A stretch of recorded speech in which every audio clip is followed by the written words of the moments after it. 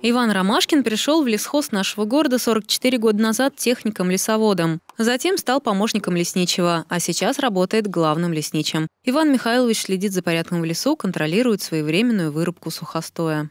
Выбираем весь сухостой, валеж, который у нас в лесу делается, определяем объемы, э, породный состав и, значит, если есть возможность организации какой-то выдать этот лес, или, значит, частным порядком в небольших количествах, мы его отпускаем и стараемся, стараемся, чтобы у нас в лесу было чисто, красиво и хорошо, чтобы люди наши ходили, отдыхали в хороший лес.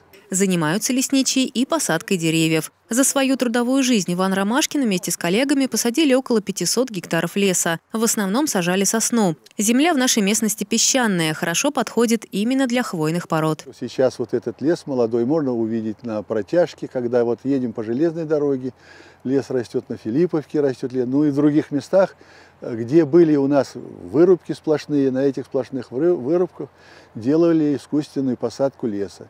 Весь лесопарк в нашем городе занимает более 6 тысяч гектаров. Их обслуживает около 20 человек. Весь лес разбит на участки, которые закреплены за конкретными лесниками. Каждое утро они обходят свою территорию и наблюдают за порядком. Стать лесником может не каждый. Для представителей этой профессии важна хорошая физическая форма. Для лесника важно, чтобы он был здоровый, крепкий, чтобы у него все нормально было, чтобы он мог ориентироваться в лесу.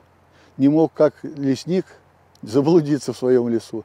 Бывает, что если лесник не ориентируется в лесу, мы стараемся таких лесников не принимать на работу.